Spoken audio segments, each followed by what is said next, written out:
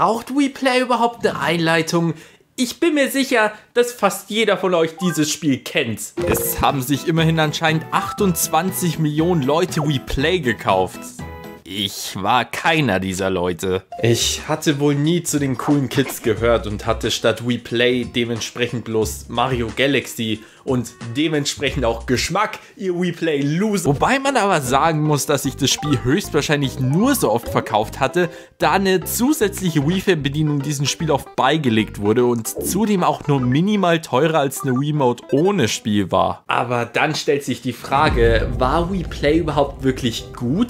Ist es bloß eine Art Tech-Demo, um zu zeigen, was die Wii-Mode am Anfang der Wii so alles theoretisch drauf hätte?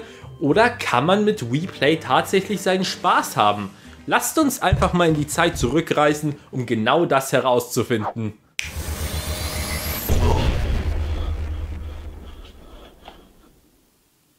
Ach ja, ich hatte das Spiel ja gar nicht. We Play also. Mann, das wirft echt Erinnerungen zurück. Ich erinnere mich noch voll dran, dass ich es super cool fand, dass man mit seinem Mi im Hauptmenü interagieren kann, indem man auf verschiedene Körperteile klickt.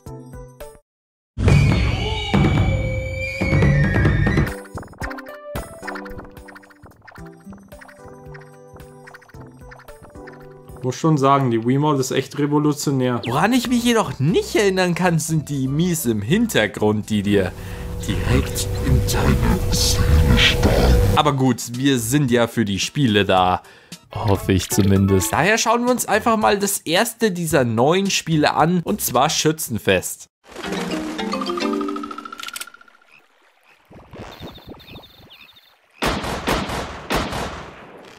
Naja, was erwartet ihr von einem der ersten Wii-Spiele? Es macht auch vollkommen Sinn, zum Beginn der Wii-Ära genau so ein Spiel einzubauen. Hätte mich ehrlich gesagt gewundert, wenn nicht. Und das Spiel ist auch irgendwie ganz süß gemacht. Es gibt Dosen, die immer wieder nach unten fallen, Tontauben, die immer weiter in den Hintergrund ragen, UFOs, die dich entführen, weshalb du nie wieder auf diese Erde zurückkehren wirst. Und hey, als Referenz zu Duck Hunt wurden sogar die Enten eingebaut. Treffer. Nur wahre Meisterschützen haben damals bei den Enten den Doppelschuss im WePlay geschafft. Ist ja kein Problem für jemanden wie mich. Nice shot! Ich bin nicht wirklich gut in dem Spiel. Doch haltet mich für absolut irre, aber ich habe mich spontan mal dazu entschieden, den Wii Zapper dafür auszuprobieren und mein mittelmäßiges Gameplay wurde plötzlich absolut gottgleich. Oh yeah, Plastikmüll führt wohl doch noch zu was Gutem und ewiger Jungfräulichkeit. Als nächstes kommt Mie-Gewimmel. Man muss immer eine bestimmte Art von Mie aus einer Menge heraussuchen, die sich den anderen unterscheidet, oder man muss einen Doppelgänger finden. Und Junge, das wird nach fünf Level langweilig. Immerhin erinnert es mich daran, wie hässlich einige der von Nintendo erstellten Mies eigentlich sein können. Der Name Wii Gewimmel macht zwar Sinn, ich meine, das ist auf jeden Fall ein Gewimmel aus Mies, so viel steht für Ohr. Aber gegen den englischen Namen, also Find Me, stinkt er halt schon hart ab. Selbst der Titel des Spiels an sich ist ja so eine kleine Art Wortspiel. We Play, was labern die? Ich spiele das doch alleine. Hey, Tischtennis, das könnte ziemlich spaßig werden. Vielleicht so ein bisschen wie der Tennismodus aus Wii Sport. Ja, du weißt, dass du kein unbedingt spaßiges Spiel erstellt hast, wenn die größte Challenge daraus besteht, den Arm lang genug oben zu halten. 100 Treffer zu landen ist hier eben auch viel zu einfach. Ich hab das in meinem First Try hinbekommen. Ich sehe da echt nicht die Schwierigkeit hinter was. Alter, mein Herz. Das nächste Spiel heißt im Englischen Pose Me, was wieder mal ein raffiniertes kleines Wortspiel ist. Ich bin mir auch sicher, dass das deutsche Übersetzungsteam für WePlay sich einen ähnlichen Spaß bei der Namensgebung erlaubt hat. Mi-Posen-Spiel. Wir sind deutsch. In Deutschland darf man keinen Spaß haben. Drei verschiedene Mi-Posten, die man richtig herum in die Form einfügen muss. Aber dass du ja nicht eine Blase diese untere Leiste dort berühren wie oft will ich diesen unkreativen Joke eigentlich noch bringen? Das würde aber eh nicht so oft passieren. Das Spiel ist wirklich verdammt einfach. Wow, wow, wow. Ach ja, was geht eigentlich mit den Hintergründen in dem Spiel ab? W warum, warum sind da einfach nur Stockfotos? Na gut, das nächste Spiel kann ja nur besser werden. Laserhockey. Zwei Minuten zum Sieg in äh, Laserhockey. Fordere deine Freunde heraus in Laserhockey. Wie, du hast keine Freunde? Na dann besieg doch den CPU in Laserhockey.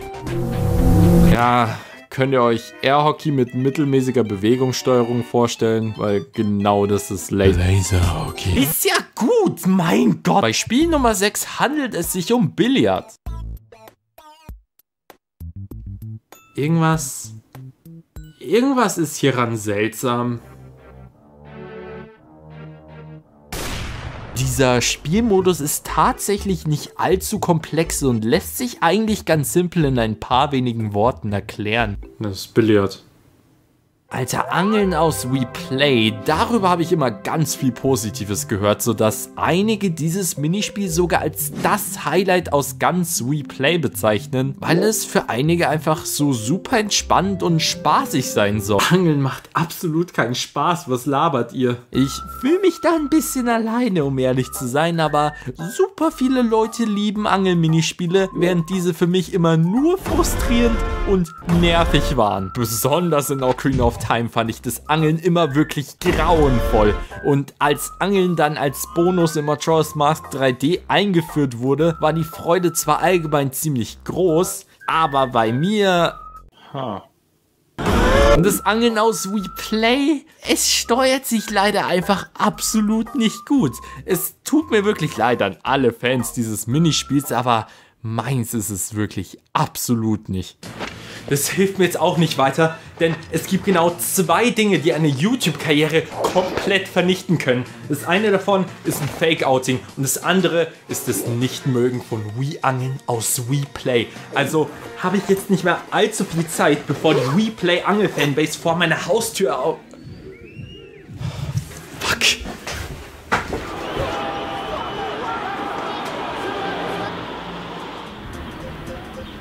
Was willst du? Deine Videos sind scheiße.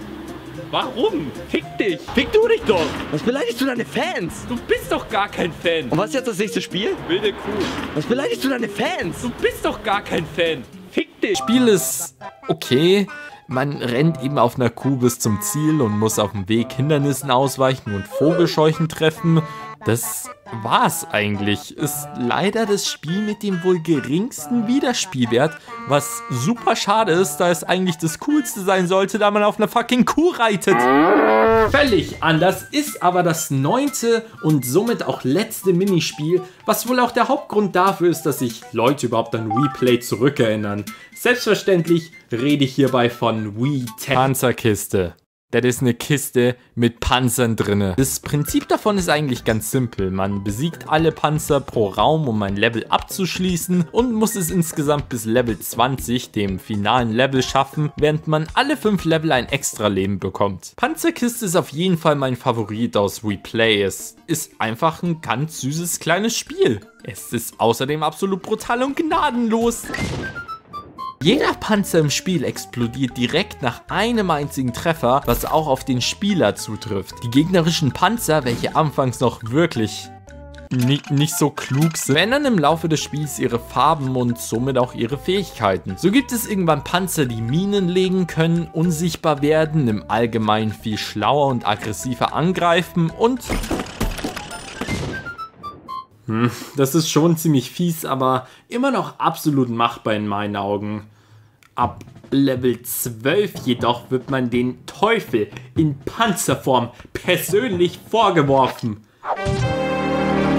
die grünen Panzer. Diese haben schnelle Raketen, welche zweimal an Wände abprallen können, während die eigenen Schüsse maximal einmal abprallen können. Dazu planen die ihre Schüsse so dermaßen genau, dass diese Panzer der wortwörtliche Beweis dafür sind, dass künstliche Intelligenz uns irgendwann alle umbringen wird. Aber letzten Endes habt ihr es also geschafft. Ihr habt es bis Level 20 geschafft und habt somit die Panzerkiste vollendet. Es gibt nicht nur 20 Level. Es gibt 100. Nun habt ihr die Möglichkeit nochmal komplett von vorne zu beginnen, um Stufe 100 zu erreichen. Nein! WePlay ist also ganz nett. In Anbetracht dessen, dass es einem wirklich nur demonstrieren soll, was die Wiimote so theoretisch alles drauf hätte, besonders die Zeigerfunktion, ist es eine ganz nette Minispielkollektion, aber nichts, was ich jetzt jemals wieder wirklich spielen wollen würde. Es ist eben ein Spiel, mit dem man nicht wirklich allzu viel Zeit verbracht hatte. Und dann gab es einen zweiten Teil.